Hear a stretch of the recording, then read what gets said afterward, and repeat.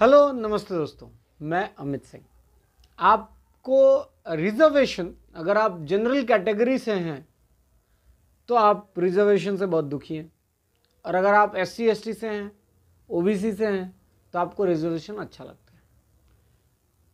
Basically जो deprived समाज है, जो पिछड़ा वर्ग है, उसको रिजर्वेशन की बहुत ज़रूरत है, ताकि वो ऊपर आए। लेकिन जो ऊपर आ चुका है, जिसको अब रिजर्वेशन की ज़रूरत नहीं है, उससे अब रिजर्वेशन छीन लेनी चाहिए। क्योंकि अब उसको ज़रूरत है नहीं।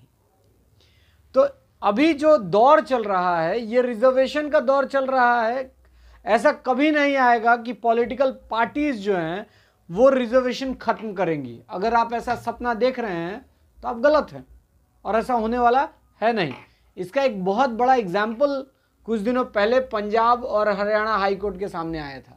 2021 में हरियाणा सरकार ने एक बिल पास किया था, जिसके अनुसार हर प्राइवेट सेक्टर में जहाँ पे तीस हज़ार से कम की नौकरी है, वहाँ पे 75 परसेंट सीट रिज़र्व रखना होगा। किसके लिए? हरियाणा के डोमिसाइल वाले लोगों के लिए। मतलब जो लोग हरियाणा में रहते हैं, उस तीस हज़ार से कम वाली नौकरी जो है वो पचहत्तर परसेंट वहाँ के लोगों को नौकरी मिलना चाहिए। तो आप सोचें कि मतलब कॉन्स्टिट्यूशन कह रहा है कि एक इंसान भारत में जहाँ चाहे वहाँ रह सकता है, जो चाहे वो व्यापार कर सकता है। अभी तक सरकारी नौकरियों, सरकारी कॉलेज सरकारी कोटे में रिजर्वेशन चल रहा था। लेकिन हरियाणा सरकार सोच रही थी कि भैया प्राइवेट सेक्टर में भी 75 परसेंट रिज़र्व कर दिया जाए। बहुत बढ़िया। मतलब महाराष्ट्र चाहता है कि महाराष्ट्र के लोग महाराष्ट्र में काम करें, बिहार चाह मतलब बंगाल चाहता है कि बंगाल के लोग बंगाल में काम पाएँ, है ना? तो ये कहीं ना कहीं प्राइवेट सेक्टर में भी रेस्ट्रिक्शन लाना चाहते तो इससे नुकसान ये है कि भैया ये कॉन्स्टिट्यूशनल जो फ्रीडम दे रखा है, जो राइट टू ट्रेड है ऑक्यूपेशन है, ये तो डिप्राइव्ड हो रहा है। कैसे एक इंसान किसी राज्य में जाके काम कर सकता है? अगर किसी राज्य में कोई व्यवसाय नहीं है कोई इंफ्रास्ट्रक्चर नहीं है तो वो कहाँ काम करेगा? तो फिर देश किस बात की?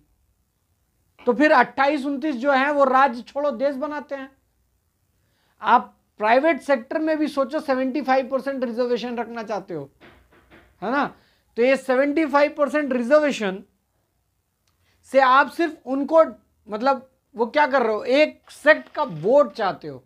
तो आपको लगता है कि ये सरकार कभी चाहेगी कि रिजर्वेशन सिस्टम खत्म हो जाए? कभी नहीं। कोई सरकार नहीं चाहती कि रिजर्वेशन सिस्टम खत्म हो जाए। इसी तर्क पे, इसी तर्क पे आप ये भी देखें कि महाराष्ट्र में मराठी जो है वो बिहारी को भगा रहे बंगाल में कुछ नए नए पार्टीज़ आई हैं। ये पार्टीज़ ये कह रही हैं कि बंगाल बंगालियों का। तो भैया जो लोग, जो कॉन्स्टिट्यूशन से ये जो देश चल रहा है, इसका तो कूड़े में उठा के फेंक दिया जाए। है ना? तो बंगाल अगर बंगालियों का, महाराष्ट्र मराठियों का, हरियाणा हरियाणा वालों का, तमिलनाडु तमिलनाडुओं का तो जो बाकी जो यहाँ से वर्कर वहाँ काम करने जाते हैं, इनका क्या?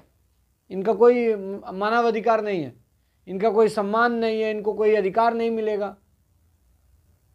तो साहब, आप सर देखें तो पंजाब हरियाणा हाईकोर्ट ने कहा कि ये जो पॉलिसी है, ये जो बिल लाया गया है कि 75 परसेंट हरियाणा के लोगों को ही रिजर्वेशन मिलेगी प्राइवेट सेक्टर्स में, ये अनफेयर है अनकॉन्स्टिट्यूशनल है, और इसे रिजेक्ट कर दिया।